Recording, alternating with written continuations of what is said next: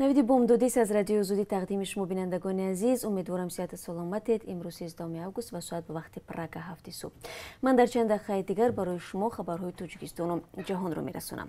Сафорати русия дар тоҷикистон дирӯз баъди таҷаммуи даҳу шаҳрвандонаш дар назди сафорати душанбе нишасти матбуотӣ довир кард. Валерий катункин сардори бахши консулгарии сафорат дар ҷамъи хабарнигорон гуфт ки таҷаммугарон хостаанд барои бозгашташон ба ватан мусоидат шавад. Ба қавли ин мақомдор то имрӯз тариқи 23 парвози чартерӣ 3 ҳазор шаҳрвандони русия ки аксарият дорои шаҳрвандии тоҷикистон низ ҳастанд аз душанбе ба русия интиқол ёфтанд.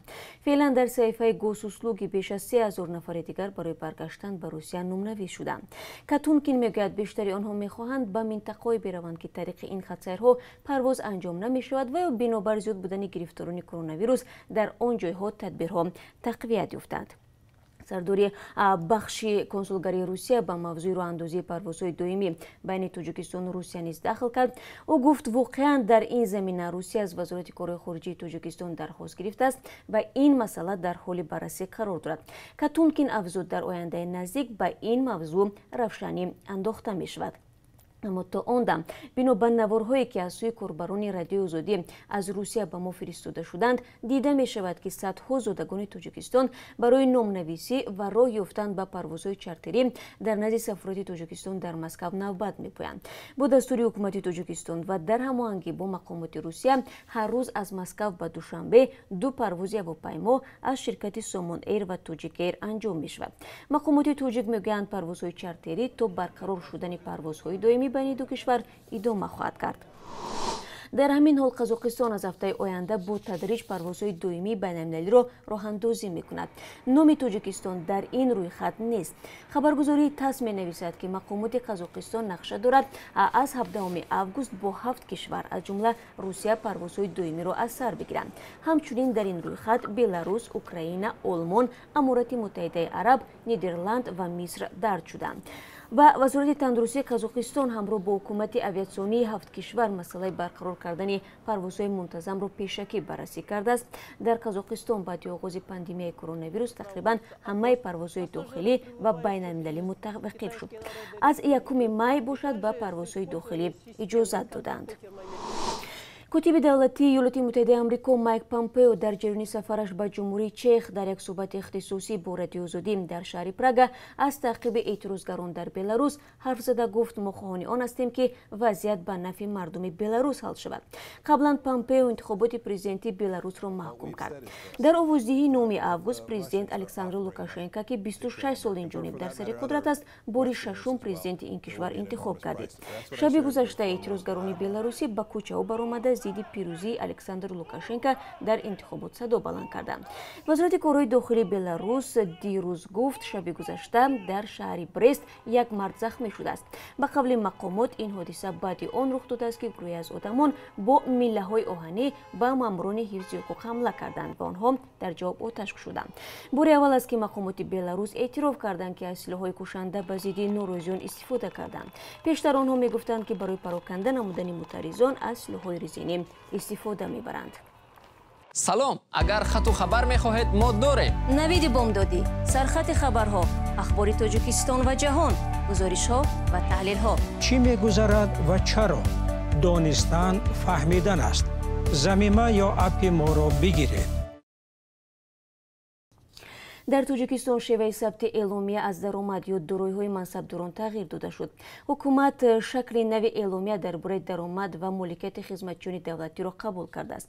Ба навиштаи хабаргузории азия плюс дар шакли қаблии декларатсия ё эъломия мансабдорон бояд маошу даромад хона ва мошини худро қайд мекарданд.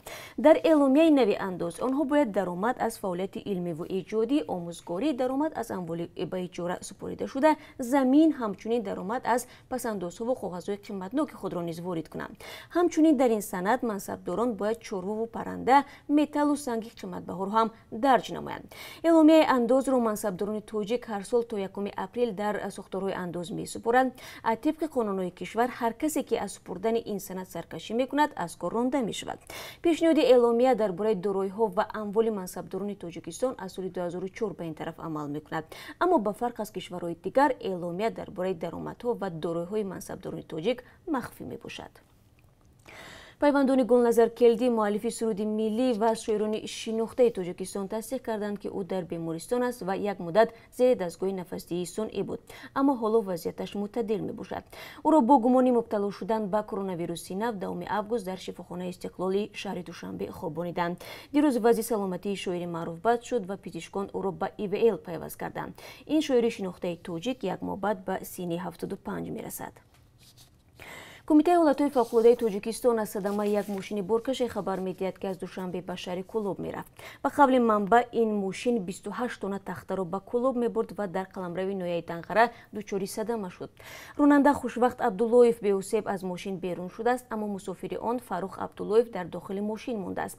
Барои берун кардани он кормандони кумита якҷо бо сардори бозрасии давлатии автомобилӣ кормандони тиб ва шаҳрвандон бо воситаи як мошини ёрии таҷилӣ ду мехла лапата дукран ва нақлиёти дигари боркаш даст ба кор шуданд мусофири бандмондаро берун оварданд ва ба бемористон интиқол доданд тибқи эълони вазорати илм ва маорифи тоҷикистон аз абдаоми август дар кишвар кӯдакистонҳо ба фаъолият оғоз мекунанд. Вазорат мегӯяд бурдани фарзандонашон ба боғча барои волидайн ихтиёрист. Волидайне ки имкон доранд э, то ба эътидол омадани вазъият метавонанд кӯдакони хурдсоли худро дар хона бубинанд. Дар чунин ҳолат ҷои кӯдак дар кӯдакистон нигоҳ дошта мешавад. Хотиррасон мекунам ки сар аз ҳафтаи оянда барои хонандагони мактабҳо ва донишҷӯён дар тоҷикистон соли нави хониш бо риояи ҳатмии талаботҳои беҳдоштӣ оғоз мегардад Bye.